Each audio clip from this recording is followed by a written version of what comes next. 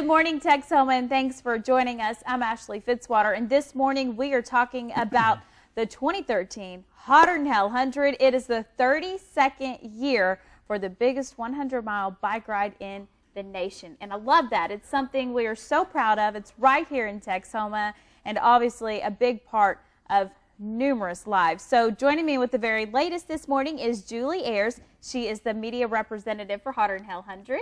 And mm-hmm. also Roby Christie. He is the Hotter Than Hell 100 chairman. And of course, a face that many of you recognize and associate whenever we're talking about Hotter Than Hell 100. So we appreciate both of you being here this morning. And we're excited to learn all about this year's big ride and big race. So just in case people aren't familiar with how this all got started before I get too far ahead of myself, yeah. it brings so much money to the area. It just brings people from all over the country right here from something that started as wanting to celebrate Wichita Falls history, correct? You bet. uh, the, uh, the mayor at that time was Gary Cook, and, and he, uh, he came and asked if, uh, if I would help with an event that would kick off the centennial of um, Wichita Falls.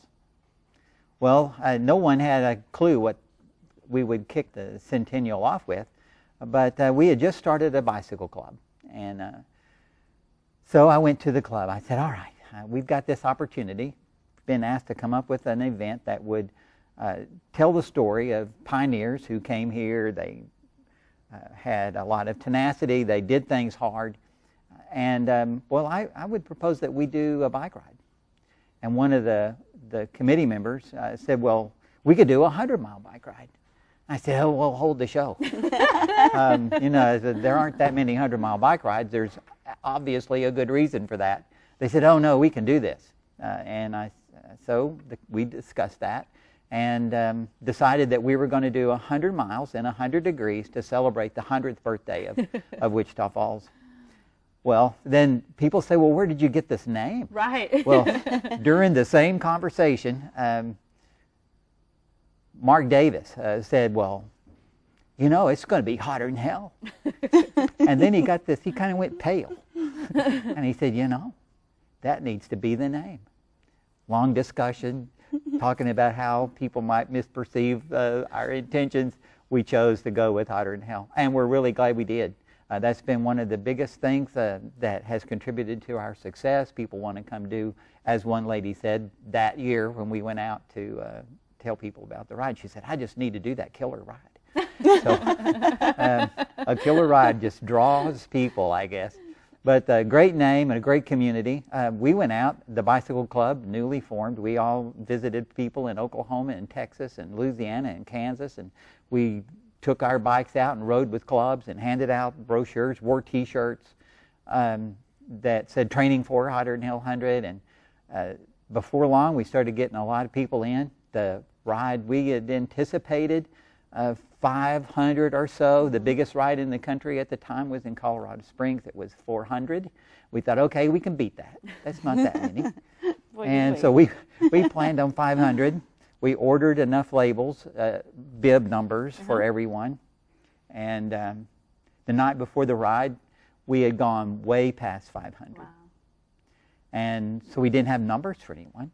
The registration committee uh, went out and bought paper plates and safety pins, wow. and they made numbers. And people finished that ride with paper plates and numbers on them, and they were proud of those numbers. I love it. That is just amazing. It's such a great story. It's such a inspirational story for Texoma, I think, too, how, you know, something just to celebrate who we are has turned into something that's so big for our community. And, you know, it continues to celebrate our community, I yes. think, year after year, bring in money. It truly, Texoma is something to be proud of, and it's just such a great thing for our community. Can we talk a little bit about the schedule of events? Because I know we can't get to everything, and there's already a list online if you want to get on there and start planning out your weekend because it is truly not just that Saturday. There's a lot going on even beforehand. Right. We um, well we start on Thursday with our consumer show with over 90 vendors that has grown significantly over the years and it's a lot of fun. We have a new event on Friday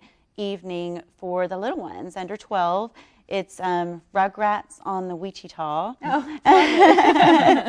so that's a new one. It is a free event. Um, and we're really excited about that. And it goes all the way through Sunday. We have different off road races. We've got a, a half marathon, a 10K run, something for everybody. Roby, is it neat to see how things are added every year and there's something that's Yeah. growing? It, it's been important, I think, to the growth of the ride that it not be stagnant. And we were the uh, the first bicycle event to add a consumer show.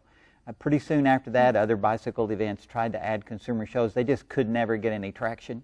The race, uh, we started out as just a ride, and we added the USCF race, and then we added additional races, criteriums, which are closed loop races within uh, seven tenths of a mile loop, and really great opportunity to watch people ride really fast.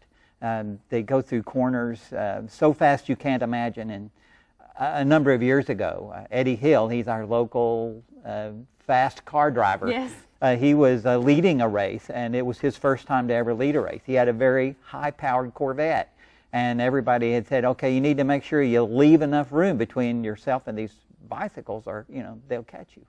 And he said, "No, not going to happen." Well, um, the very first turn, he slowed down to make his turn. The bikes were not slowing down. They went through that 90 degree turn at 40 miles an hour, and they passed him. Pass so- the Corvette. uh, so, um, so he left a little more room in there. But they go that fast. They're really quick.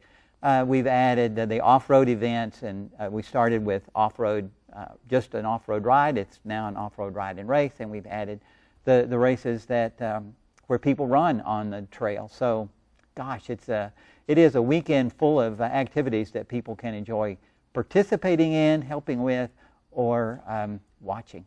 And the weekend of the 24th is the weekend everyone needs to mark on their calendar, August 24th.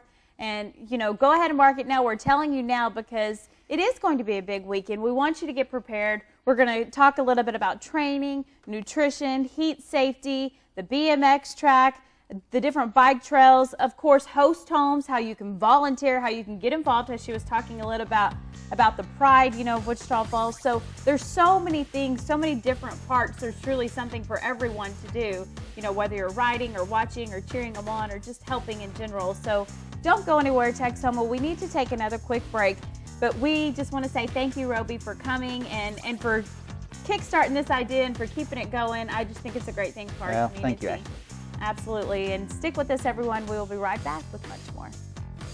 This Hotter 'N Hell 100 coverage is brought to you by Four Stars Auto Ranch.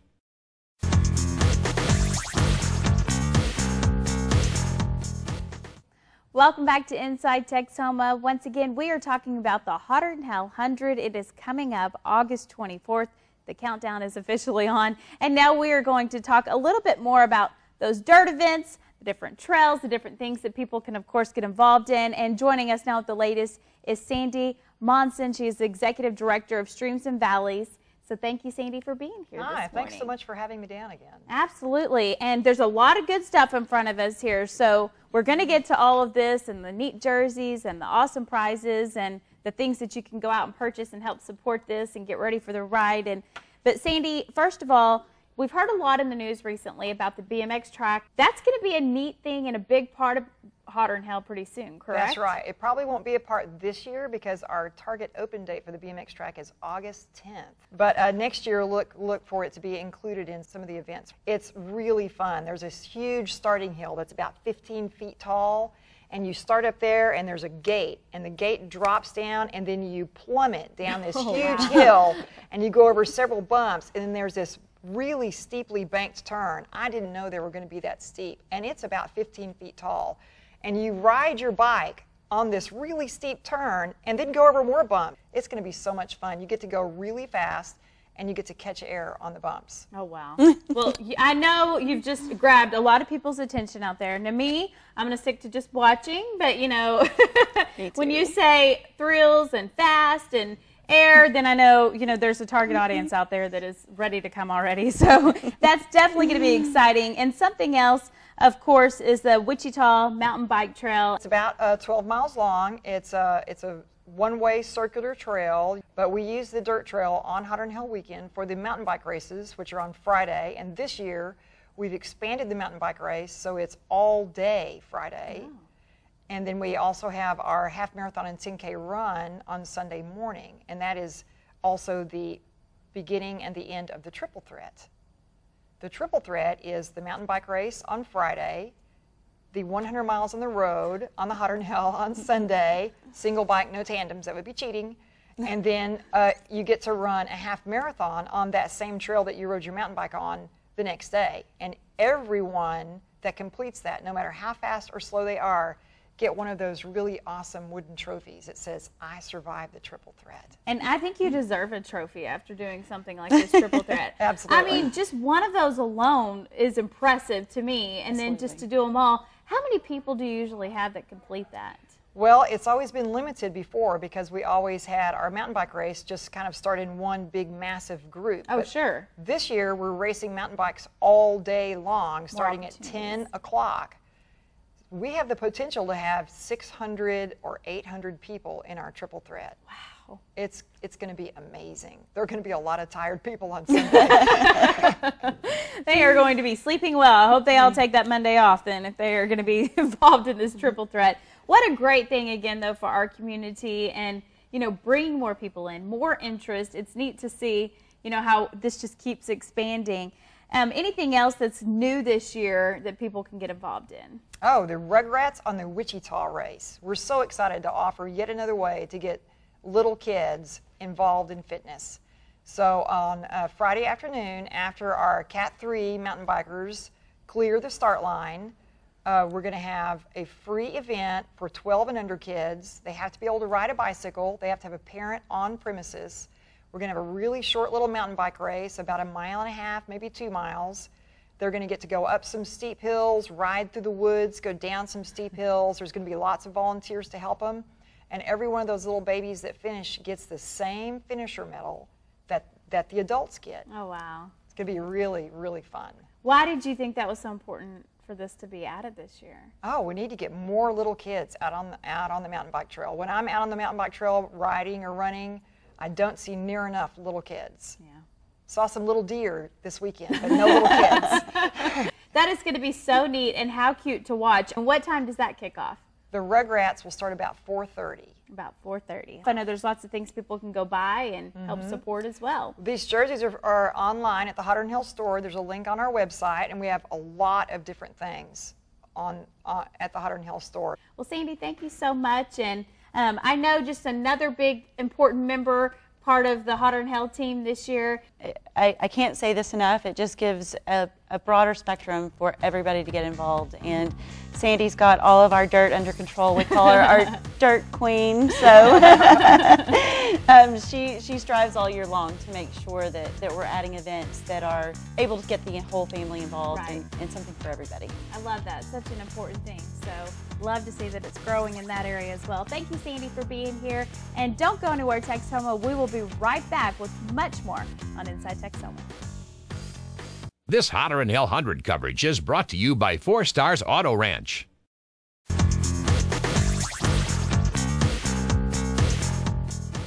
Welcome back to Inside Tech Texoma. Once again, we are talking about the Hotter Than Hell 100, and joining us now with much more is Bikin Mike Kill and also Dr. Keith Williamson.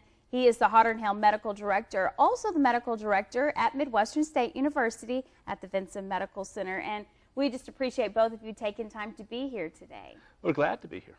Happy to be here with you. And jumping right in, these two men, I understand, Julie, they just bring a lot to the table whenever it comes, again, to making this happen. There are just numerous people involved to making this go off without a hitch. Can you tell us just a little bit about them and brag on these two and really what they mean to the Hotter 'N Hell 100? Well, that is certainly easy to do. I'm not sure how we pulled it off before they came along, but they surely are an integral part in making it happen. Dr. Keith here has published three papers from his research um, that he's done at the Hotter 'N Hell 100. Um, has been a committee member with us for um, what 12, 12 years, years, now. Wow. and um, has been a writer since 1996. And then Bikin Mike um, has uh, been a cycling coach since his very first Hotter 'N Hell 100 in 1987. Yes, ma'am. Wow, and now he has his own cycling facility where he trains people in Plano, Texas. Yes, ma'am. And comes here to help train our riders before the event. So we're Wow. pretty blessed to have both of them. Absolutely. Thank you. And they today their role right here, Texoma, it's a little bit of an advantage for you and an insight for you if you're preparing They're going to talk about training, nutrition, and that all important, of course, heat safety. So, jumping right into that, and then maybe we can hear a little bit more about your personal stories. But I want to jump right into why you're here for Texoma this morning and just starting with training. Is now an okay time to start training, or if you're continuing training, any extra tips for anyone? Well, I think the I think the first step for anybody is to get on a bike, start riding. There you go. So if you're already riding when you get to today, you can look at what am I doing right now. You know, if you're already up to the 100 kilometer distance or further, you're going to be safely in that zone where you could get ready for the 100 mile and do well. And to me, doing well means you finish standing up on your own power and speaking coherently. So, you know, you, you're not crawling across the line, but doing well. If you're not riding that far, you need to be reasonable about what kind of distance you're doing now so that you're not expecting yourself to do too much. Because, as we'll talk about later, the heat is the thing that's draining the most calories out of riders right now beyond what they spend pedaling. So mm-hmm. that heat acclimation to try to build endurance and ability and get used to the heat, that's a little bit too much to ask. Right. So just a little bit of graduated. And that's the great thing about the 100 and Hell. It's not just a 100 mile ride. You've got the 75 mile route option, you've got the 62 mile route option, you've got the 50, you've got the 25, you've got the 10. So there are a lot of different distances you can ride and still be a part of that big start on Scott Avenue with the flyover and the cannon. Besides just getting on the bike, are there other exercises that maybe are helpful to do that will give you a leg up whenever it comes to riding that day? Well, cross training for cycling is always beneficial and helpful. Whether you're doing a calisthenic style program like a PX90 or something that intense, a cross training program to develop core strength and stability because of the posture and positioning on a bicycle, that's extremely helpful. Uh, another thing to look at for cross training is yoga, uh, those types of activities that are stretching of the body and helping the joint capsules because we spend so much time contracting the muscles thousands of times with pedal revolutions and things that we need to stretch those muscles out as well. Not as important for people in your age bracket as in mine. So, and we do see in the Hotter Than Hell that there are a lot of those 50 plus year old riders that are out there riding. So they need to pay attention to that cross training. Great advice. Now, whenever it comes to nutrition, you know, there's the big spaghetti dinner that everybody loves, and you, you always hear about the having that calorie boost because you are burning a lot. What do we need to be keeping in mind now, though, whenever it comes to nutrition and preparing for the Hotter Than Hell 100? I'll take that one first, and Mike can probably help me out in a minute. But a good healthy diet is what every athlete needs, and the baseline would be about 30% fat. And for endurance athletes, maybe 40% carbohydrate. That is your energy and your recovery. And the rest should be in protein. You have to attend to your diet, your hydration, and when you're working in the heat every day, your salt intake as well. The other thing about nutrition is people forget that all three food groups are important in all three meals. And quite frequently, we'll hear about cyclists who will talk about carbo loading the night before the ride, and you don't want to miss out on the fats and the carbs and the protein in that meal. Just getting carbs is kind of like building a fire out of kindling. I need to have some logs in there as well where the fats come from, and because I'm destroying so much muscle, I need some protein in there to help the muscle health too. Absolutely. Another big thing, heat safety, and it's appropriately named Hotter Than Hell 100. I mean, the heat is on when you're out there, and it makes things, you're right, just standing out there alone is exhausting in Yes. the heat. So Yes. add the whole pedaling to the mix, and it can, it can be dangerous. There's several forms of heat disease that we see every year at the Hotter Than Hell. Everything from a little swelling in the ankles called heat edema to people who pass out, heat syncope. But more serious heat disease as well, heat exhaustion. Uh, and the concern is always there about heat stroke. Exercising in the heat drains all your resources faster your body fluid, your body salt, your body energy stores, and the ability of the muscles to control the contraction. When you are not ready for the distance you're attempting, under the conditions you're attempting, you'll experience heat exhaustion and cramps and be unable to successfully complete it and not have a good experience. As Mike says, finish standing up. we'll be peeling you off your bike and putting you in a cot. Ugh, nobody wants that. No.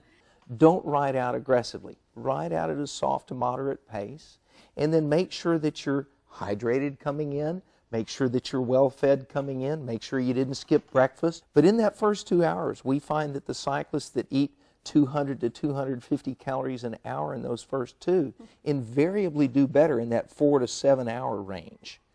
I can fake it a little while, but I think Keith will even tell you that zone after Hell's Gate, so many riders work so hard to get to Hell's Gate and then run out of gas in the first 10 miles after Hell's Gate. One thing that's very difficult to manage for some riders is hydration. And you'll hear over and over drink as much fluid as you possibly can. That is a mistake. The most seriously ill people we see at the Hotter Than Hell 100 are water intoxicated. They have gained weight over the course of a six hour bike ride, and it depletes their sodium to such an extent that the brain swells. They have seizures and they wake up in the hospital intensive care unit. So, exactly as Mike said, start well hydrated and drink according to thirst. Don't force down fluid if you, if you aren't feeling it. Wow, that's great advice. Things you don't think about. You do think, keep drinking because we don't want to dehydrate. Well, thank you both so much again. We appreciate your time and all that you do, um, not only for the Hotter Than Hell 100, but our community as well. We appreciate it. And we need to take another quick break, but Julie and I will be right back with much more on the Hotter Than Hell 100, so don't go anywhere, Texoma. This Hotter Than Hell 100 coverage is brought to you by Four Stars Auto Ranch.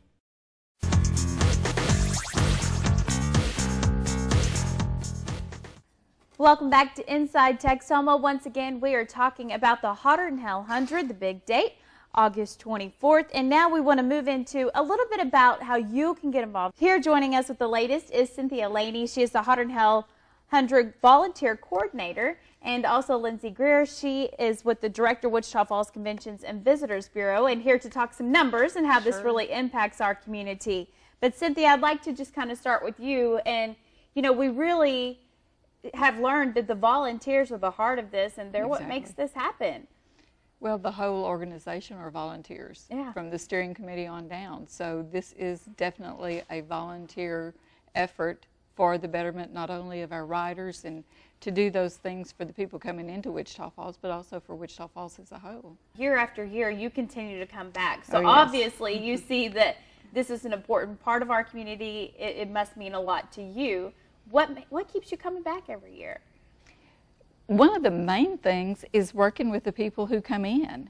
Uh, we're at the front desk checking in all of our volunteers and everything. So that's a great avenue to visit with people that you don't see but once a year. And then whenever you visit with people that you have seen last year at the race and the year before that, and they keep coming back and they stop to say hello and carry on a conversation. How's the family? How's the kids? What are you know? What are you doing? And it's those relationship building aspects of not only the volunteers but the riders that just absolutely make my heart smile. I love it. It's like the heart of volunteering, anyways. You Yes, know, it those is. relationships. and we plug you in where you want to go. There's everything that starts with the pre-registration packets that you can help give out, the late registration for people who have not registered online and they register the day before the day of the event. We have people coming in at 6:45 on Saturday morning because they want to get there and register to be ready for the event that starts at 7 o'clock. but um, we have all of those volunteers. Then we have people who are in the trade show that work the sales booth. We have people that are working all over. By the time you add the rest stop volunteers and everything, there's over 4,000 people who work this event. Wow. Another great way is a host home. Host homes is something that started several years ago when we just flat ran out of hotel rooms and um, just had some about 25 families we started with um, the first year that hosted people into their homes, whether it be an extra bedroom or spare room on your den floor, a rental property that's vacant right now, um, a mother in law suite, anything that you've got available. It can be everything from one night um, and no meal to three nights and meals with the family. Whatever it is you're willing to do is what we want you to participate in. And let us know what your preferences are. The riders do the same. We match you accordingly so that it's a great experience for everybody. Um, but we have over 200 participating now, and those are just the ones that still register with us because we've heard some amazing stories of families who have made lifelong friendships with riders. And that just shows the true hospitality of this community once again. Absolutely. And what makes this work? I mean, mm-hmm. without the rooms, without a place to stay, maybe some of them couldn't come. And Lindsay, it's important they all come, right? Because this is making a big impact on our community. Absolutely. of course, you know, most the, most of the year we are just really focused on putting folks in our hotels, but Hotter 'N Hell is unique in itself in that um, we don't care. We want them in RVs, we want them in host homes, we want them in hotels. As long as they're coming to Wichita Falls, then we are excited because that's what affects you know our, our economic impact on the community. We did a study a couple of years ago. Um, we had been kind of alternating every few years and doing a survey, um, but with, thanks to technology, we finally got got wise and uh, did an email survey to all of the participants that had registered for Hotter 'N Hell. This was 2010 when we did this. Um, and we got nearly 500 responses back. So it doesn't sound like a lot, but when you look at, you know, that's a, most results and most surveys that you do, you get, you know, maybe maybe 100. So we were really pleased to get 500 responses back, and it was a really good sampling of, of the participants that were here for Hotter 'N Hell. So we did a lot of number crunching and things like that, and um, and determined, of course, 2010 was was a record year for Hotter 'N Hell, but um, the overall economic impact with those people that were coming into town was about 8.3 million. Um, that does include hotel lodging. That does include uh, these folks spending money at the consumer show and, and folks spending um, you know money in our restaurants and filling out. You know they ride bikes to town, but those bikes are on the back of vehicles when they come and they're um, filling up at gas stations and things like that. So th- it is a humongous impact for us over a very you know short period of time. It, it has definitely been something that has, has put Wichita Falls on the map and, and given us a namesake. So. Is this one of the biggest things of the year for our city? I mean, are, are there other things that compare to this? You know, Hotter 'N Hell is definitely the biggest thing I think that happens um, for Wichita Falls. Not to discredit any of the other events. We Sure. have so many positive events from the TO Golf Tournament and Ranch Roundup, uh, the Oil Bowl, um, even just our youth baseball and tennis tournaments that go on and things like that. Um, but by far, this is definitely the biggest event that we have in Wichita Falls. As Julie said, it it fills up every single hotel room that we have, not only in Wichita Falls, but you know in Burkburnett, Henrietta, and within an hour or two drive of Wichita Falls. So um, it definitely is a is a big impact um, on the community, and, and by far one of the biggest things that we have here. We are going to be sitting down with Hotter 'N Hell 100 with the organizers again coming up as we get closer to the race. So make sure you stay tuned for that. And again, get involved. I think that's the big thing to take away right now. Start training and get involved and prepare for the August 24th. We want to say thanks for joining us, Texoma. We hope you have a wonderful day. As always, we'll see you back here next Sunday morning for another look inside Texoma.